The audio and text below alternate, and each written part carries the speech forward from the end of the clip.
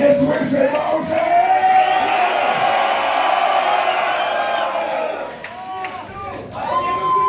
Pierdoła bestia za mnie jest dzisiaj z nami. A zaczynamy od Black to the Blind.